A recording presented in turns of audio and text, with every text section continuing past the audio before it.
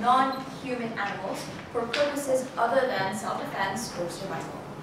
Fellow Toastmasters, most welcome guests, Master of Ceremonies, good evening. Good evening.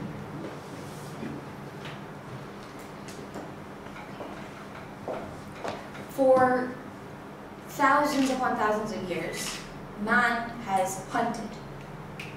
Man has scoured the earth, and one big example would be their hunt of dolphins. They would corral dolphins, corral them towards a bay, where they would slaughter these dolphins for dolphin meat, dolphin oil, or they would capture these dolphins for entertainment, for us. Not only dolphins, man has also managed to poach. Oh my god. what happened? I'm so sorry. Poach gorillas. It's not funny. They would poach gorillas, hunting them down for their gorilla meat. Yes, they do eat gorilla meat. They would hunt them down for medicines as well as souvenirs and trophies. They, they would sell to tourists there. But they would also capture them to be sold to zoos, to be sold on, in the black market as pets. I hope you see where I'm going with this. Now, these are just international examples. We obviously don't have dolphins or gorillas in Bahrain. But in yesterday, November 19th, 2020, 2013, this article was in the paper. this dog was rescued by volunteers who found it after it was tortured by thugs who bludgeoned its head with an iron bar. It survived. However, I'm bringing all of this to your attention now because at the beginning of this month, November 1st, in the GDN, there was an article about the government finally approving that we will have animal rights as a law. And I'm wholly hoping that it would save animals from being sold in farms in Bahrain, cooped up. You will find these creatures set up like this in the souks, for example, in Isa Town souk. Not just dogs, but cats and roosters and birds, etc. Or save them from dog fights. This actually is going on in Bahrain, underground dog fights, and a lot of animals have been killed during the process. I'm trying to ensure that when you go to Senate, for example, I'm not sure if most of you have been there lately, but last five years, five years ago, next to Fuddruckers there, if you all know the area, right after Fuddruckers, there was a pole that chained these two monkeys during summer. They would leave them there in the heat, with no shade, with no food, with no water for hours. And they would not be able to escape. They were tied there. And I would pass by this pole every day, coming, going to work and coming back, but I have moved from that area, so I have no idea what has happened to these creatures. This is just one of the several examples that you find in Bahrain that goes on. Now let me just give you, I, I'm not sure if you have heard of this fable. There was an Indian couple with a baby who owned a pet goose, mongoose. Now, this couple lived on their own with their, with their pet mongoose, and one day the wife told the husband, I'm going to go to the market. I need you to take care of our baby. So she went. The husband was there protecting the, the child, watching over him. He was asleep. And someone knocked on the door and said, you have to come with us. We have to take you to court. We have to defend our, your friend. So the husband, before he leaves, says to the mongoose, please take care of the baby. I'll be back soon. So he leaves as well, leaving the mongoose at home to take care of his child.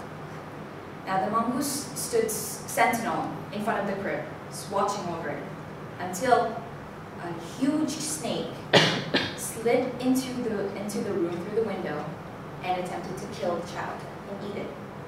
The mongoose jumped and attacked the snake, killed it.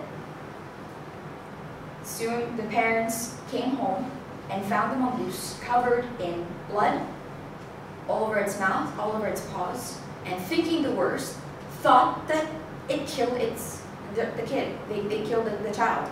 So in a storming rage, they killed the mongoose.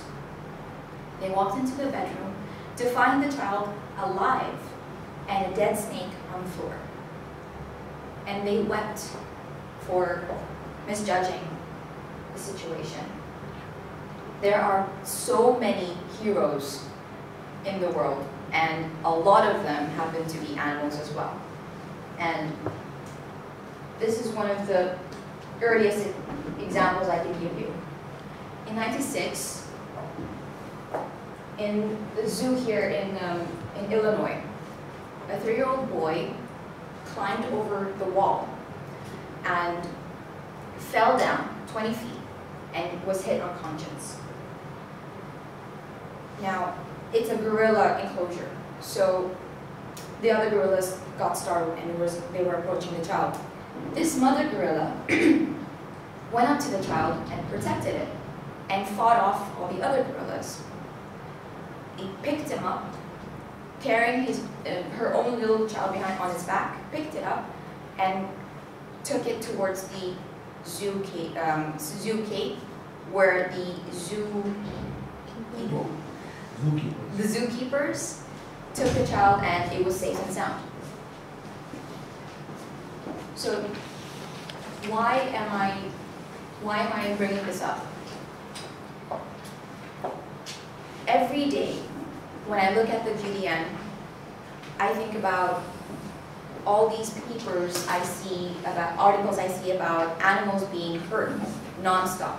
There is BSPCA here, there is other forms of protection, but how many of you have heard of stories in your own neighborhood of kids taking baby animals, burning them alive, throwing them in a dumpster, you know, attacking them somewhere, somehow, and how many of you have actually stopped it?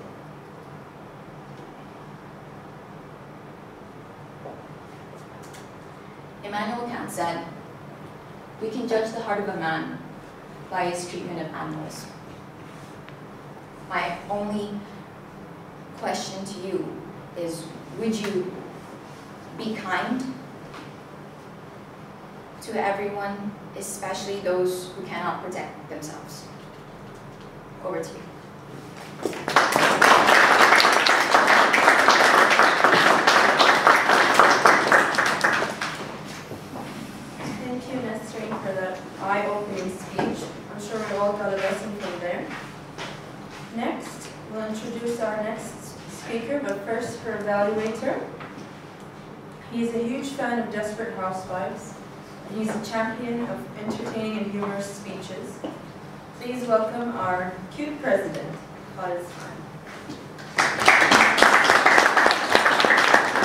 Thank you, Master Ceremonies. Please note that I was only a fan of Desperate Housewives for season one.